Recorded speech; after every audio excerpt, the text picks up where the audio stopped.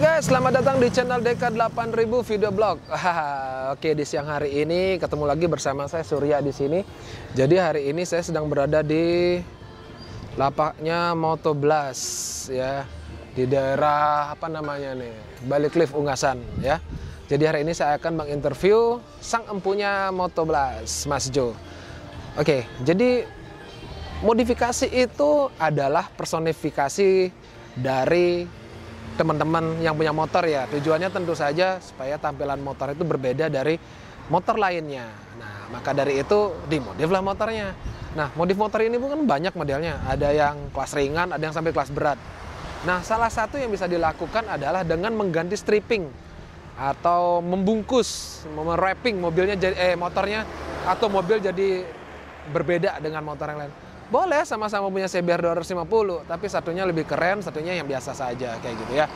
Oke, nah sebentar kita akan tanya Mas Jo Motoblast untuk lebih detail seperti apa servis yang akan ditawarkan oleh Motoblast. Oke, tentu sebelum mulai tetap subscribe dulu channel saya Deka 8000 ya. Nah, lalu aktifkan lonceng notifikasinya ya. Oke, kalau sudah mulai kita masuk ke video utama saja. Oke, selamat menonton.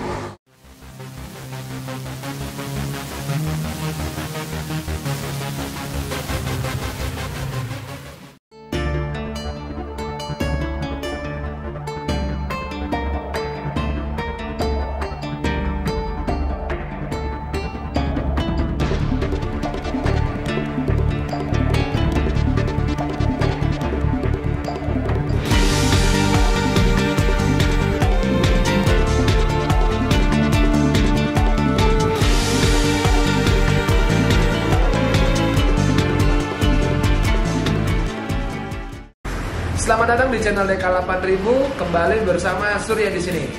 Oke, jadi hari ini sangat-sangat beruntung banget saya bisa main ke lapak seseorang yang di dunia perstikeran ini kayaknya udah pada tahu semua ya.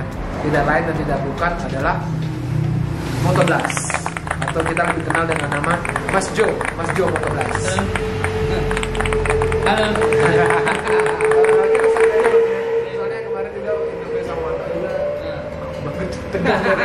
ya. Oke oke. Mas Jo, jadi mungkin hari ini kita interview mengenai Motoblast secara ini ya, secara utuh ya istilahnya.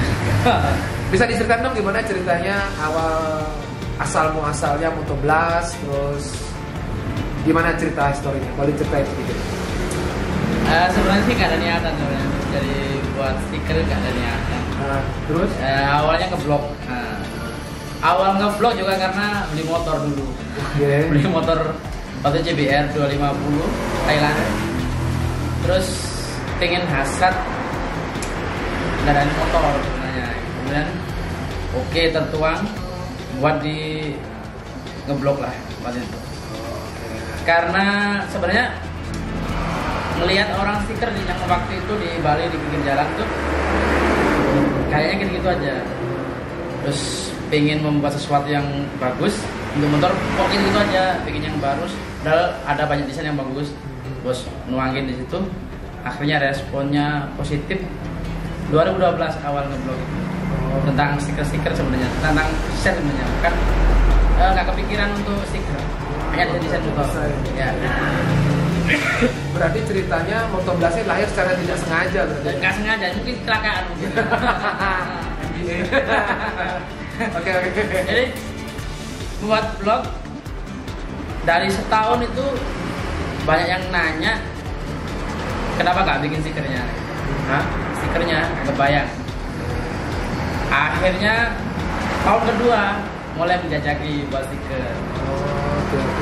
menerima online dikit-dikit ya lumayan dikit-dikit dikit-dikit akhirnya kok banyak yang suka banyak pembeli ya sudah terjunnya sekalian basah gitu. Ya, jadi saya ingat itu di awal-awal kita ketemu ya waktu Ya. bikin Bali Motovlog ya. Sip. Seingat saya itu Mas Jo cuma desain aja dulu Desain. ya, desain ya. Desain. Karena masih kerja sama orang ya gimana itu ya. ya, ya, saya Ya. ingat banget itu. Ya, ya. Baru mulai sedikit sedikit Mas ngeprintnya di tempat orang juga dong kalau ya. Ya. Oh iya iya ya. Oke, terus kalau boleh tahu, saya kan pernah baca di Instagramnya mana ya? Yamaha kalau salah ya. Ya. Nah, Boleh ceritain dong kenapa namanya Moto Blast? Itu pasti punya sejarah tersendiri. Eh, namanya motor blast ya? Itu nunggu waktu terus. Nyari nunggu waktu jadi gini malam-malam pas pas malam Kamis malam Jumat sebenarnya. Hah? kita cari-cari. Serius? bener nama itu apa yang bagus? Kan terus terus itu? Motor smash. Smash. karena motornya itu sesuatu yang meledak sesuatu yang besar sesuatu yang ya menjadi perhatian sebenarnya moto smash moto bus moto apa itu akhirnya terbesit moto blast Oh, Oke, oke. jadi itu langsung ngambil namanya moto blast sebenarnya itu aja sih Dari sana ya. Berarti ya malam? Malam Ya. Malam Jumat ya sakralnya puasa dulu. Tuh, berarti kalau kawan-kawan ingin bikin sebuah brand yang ingin terkenal, bisa ditiru malam Jumat. Ah, Malam-malam. Buatnya malam-malam. Oke, lalu untuk ini kan berarti spesialisasinya di stiker berarti ya? Stiker, stiker. Nah, kalau boleh tahu eh, konsumen-konsumen yang sudah ke Motoblas apa saja kalau boleh tahu? Eh, yang pertama memang dari Yamaha. Yamaha Bali untuk Sandiris yang langganan kita bertahun-tahun. Kemudian beberapa dealer Yamaha di luar, nah Balikpapan, Kalimantan ada. Kemudian Honda sendiri dealer se-Bali. Itu dealer se-Bali itu Honda. Itu PCX semuanya dibawa ke 12. Oh, oke, oke. Singaraja pun semua bawa sini. Terakhir kemarin kalau salah dari Singaraja datang ya? Singaraja. Oke, sip. Kemudian pernah kejadian Yamaha Yamaha Passer dari India.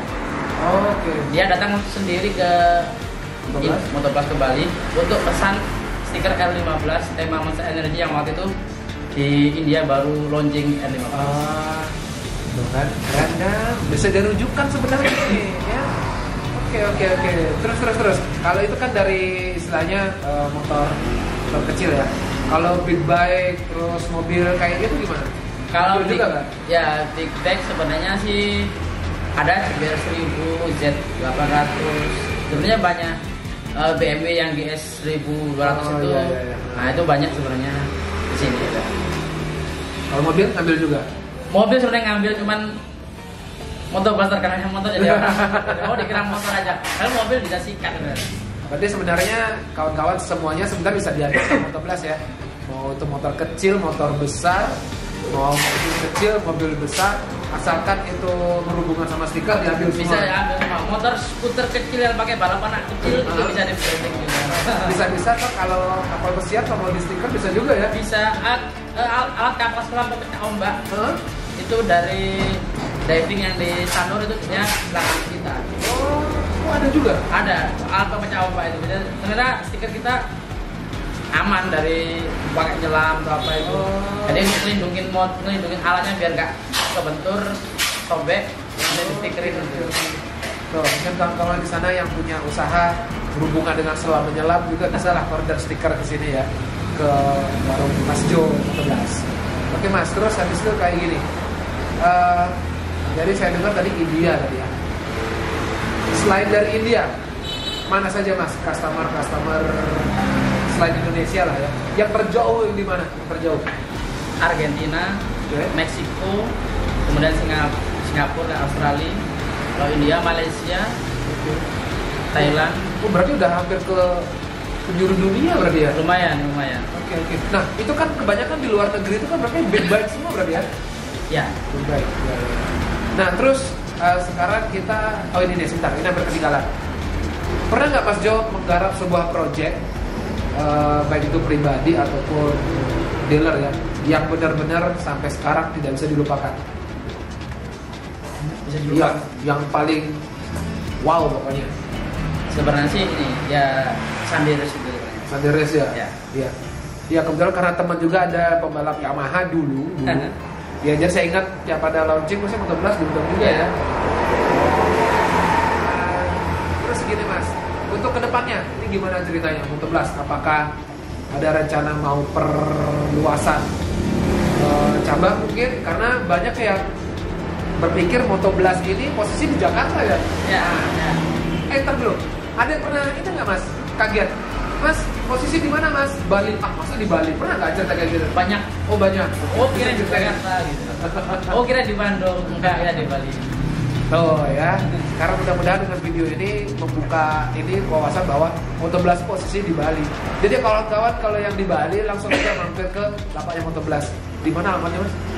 di ini Ungasan di Pura Batu Pake atasnya GWK atasnya GWK Kalau bingung kayak saya, saya jujur ini pertama kali ke sini. Hmm. Bingung ya buka aja maps langsung kelihatan kok. Ketik Hmm. aja Moto Blast. Ya. Kayak gitu. Seumpama nih Mas, seumpama ada yang mau ngajak tawaran kerjasama nih untuk buka cabang kedua, ketiga Moto Blast. Mungkin posisi di luar gimana? ya sebenarnya sih sangat terbuka jadi saya kalau ada yang kita kerjasama misalkan Jakarta atau Surabaya atau di Jogja kita welcome rencananya sih memang kita mau buka cabang di dua tempat sebenarnya di Surabaya eh, tempat di Sidoarjo sama di Jakarta cuma kita masih nunggu momennya dulu yang Iya. Jangan lupa undang-undang aja Mas. eh, atas akuran ya untuk uh, untuk mendesain sebuah motor. Nah, itu kan setahu saya kalau orang-orang seni itu kan mendesain itu adalah kegiatan yang paling riwah ya, yang paling Ya. ribet ya. Nah, Moto Blast itu ngecas nggak untuk biaya desain kayak gitu mas? Karena jujur kayak contoh bikin IMB, IMB aja hitungannya per senti loh mas. Nah kalau untuk desain motor gimana mas? kalau kita di sini free Oh, Jadi sebenarnya eh, semestinya itu memang desain itu memang ada jasnya. Hmm. Kalau custom ya. ya. Cuman dari saya itu yang pasti dia itu deal untuk membeli bisa kita buatin sampai fix. Begitu fix langsung kita cat. Yang penting kan ada biasanya prosedurnya dulu. Hmm. Nah, yang penting dia beli kita buatin desain free, nggak ada biaya desain lagi. Tuh kan, murah berarti itu kan ya. Kalau boleh tahu kisaran dari harga berapa mas? Untuk motor motor kecil kali dulu ya. Biasanya sih 450 450 Ka, sekarang. eh, eh, yang termahal itu untuk eh, CBR RR itu satu juta empat ratus. Tapi eh, udah itu stiker aja. Stiker aja. Oke. Kalau masang kita cas lagi antara 200 sampai 600. Iya, iya. Kalau RR biasanya kita cas 600. Kalau Mugi mungkin lebih sulit ya, karena kita lebih detail lagi, Iya. jadi lebih mahal. Kalau Chrome biasanya sampai dua setengah sampai 3 juta. Oh, oke. Ya, wajar lah ya karena memang eh, tekuannya motor itu memang Banyak. gila ribet banget asli. Iya. Ngelihatnya aja kayaknya udah sepet mata kan dibandingin kita ngerem sebuah mobil kali mas ya. Ya, Jadi wajar harga segitu udah oke lah. Dan juga setahu saya Moto Blast adalah salah satu yang terbaik ya di Indonesia. Jadinya pabrikan aja dealer sekelas Yamaha, sekelas Honda aja namanya Moto Blast gitu loh. Jadi nggak nggak nggak sembarang lah berani. Ya har- ada harga ada rupa. Prinsip ekonomi itu selalu berpikir seperti itu Iya. kan. Ya. Terus kalau misalkan oke deal ini mas, pengerjaannya itu berapa lama mas? kalau desain mungkin sehari ya. Oke. Kalau ribet biasanya misalkan butuh inspirasi itu bulan dua hari. Tapi kalau cetak kita sehari sampai dua hari. Pemasangan sehari. Gue ini total berarti sekitar Mungkin seminggu. Kalau ya. motor yang ini ya yang nge-branding banget. Oh. Tapi kalau biasa mungkin tiga hari. Nah, cuma tiga hari, berarti cepet berarti ya. Berarti motor harus segini sini berarti mas. ya? enggak. Oh enggak. Kalau waktu pasang aja kita inap. Oh di hari yang terakhir yang ketiga sih ya, iya. pasang ya. Nah, seumpama kayak gini nih, ini seumpama ada contoh kasus. Wah mas, saya males nih bawa motor ke sini, tapi waktu masang saya bawa aja fairingnya boleh nggak? Umpama. gitu. Bisa, bisa. Oh bisa ya? Bisa. Bawa aja bearingnya. Kadang juga kalau orangnya misalkan beli nggak punya waktu, kita bisa pasang di tempat. Tempatnya bisa. Fleksibel aja. Dalam kita usaha pasti ada pahit, aja sih pasti ya. Yang pahit dulu deh. Pernah kejadian apa gitu? Yang pahit itu deh. nah, itu deh. Biasanya ada yang konsumen yang tidak ngerti prosedur. Misalkan kita kasih sudah kasih gratis servis, artinya dari pemasangan, kemudian ada beberapa hari, bahkan mungkin satu bulan, misalkan ada yang buka, kita gratis servis kita perbaiki. Kecuali kalau rusak, rusak dari dia, kita bisa ganti per nggak usah harus full semua. Misalkan oh bagian gini aja bisa kita perbaiki. Kita kalau nggak cetak lagi cetak lagi. Cuman kadang ada beberapa orang yang nggak ngerti antara gratis servis dengan gratis biaya dikiranya gratis servis ya gratis biaya jadi kita gratis itunya dia minta gratis nah itu yang parah itu Berarti itu modus itu ya. Gratisan intinya. Ah, iya. Nah terus itu yang yang yang yang yang pahitnya. Kalau manisnya? manisnya itu ya sebenarnya jualan sih kan ya enak Untungnya gede. sebenarnya dalam membuat motor kesayangan biar tampil cantik itu sebenarnya tipikalnya ada tiga, ada tiga kunci sebenarnya. Yang dalam hal satu adalah desain yang pertama yang kedua yang kedua adalah warna. Yang ketiga adalah bahan. Udah tiga itu. Kalau tiga itu terpenuhi maka ini bagus karena kadang desain nggak sesuai. Warna juga. Pemilihan warna mak saya dalam film Instagram kan ada warna-warna yang padu dan pas kadang juga warnanya udah bagus tapi cocok dengan ridernya itu karena sebenarnya ridernya eh, psikolognya nggak sesuai dengan warna itu karena ada ada ya kenapa makanya saya sering kalau ada orang custom design itu Mas suka warna apa? Suka apa? Saya tanya dulu wawancara. Oh, su- saya suka sesuatu yang kalem atau apa? Ada kadang tanya timnya suka apa ya. Dari situ saya ketahuan warnanya cocok sama dia. Jadi bukan sekedar buat desainnya, tapi ada uh, mungkin ilmu desain grafis yang dulu yang sempat saya pelajari saya pakai itu. Iya. Tadi ya. Jadi itu sebenarnya tambahan aja. Saya lupa kalau Mas Joni ternyata bukan desainer abal-abal ya. Jadi memang memang beliau ini adalah lulusan desain grafis, Ya. sempat jadi dosen juga desain Iya. grafis ya. Desain grafis. Nah, jadi ya udahlah kalau yang bikin stiker di luaran ya boleh tanya lah backgroundnya kayak apa. Bukan menjelekkan sih, tapi memang faktanya seperti itu. Ya kan? Begitu Mas Iya. Jo, ya. Oke, terima kasih banyak Mas Jo. Salaman dulu.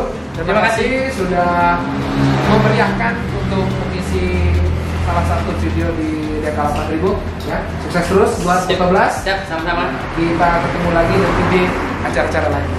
Oke? Oke. Makasih Mas Jo ya. Sama-sama. Ya. Oke, demikian saja dulu dari Deka 8000 video blog. Jangan lupa di like, share, komen, dan di subscribe Deka 8000. Nanti kita ketemu lagi di video-video mendatang dengan interview eh, yang lain dan juga dengan video-video modifikasi yang lain. Terima kasih sudah menonton. Have a nice day. Bye bye.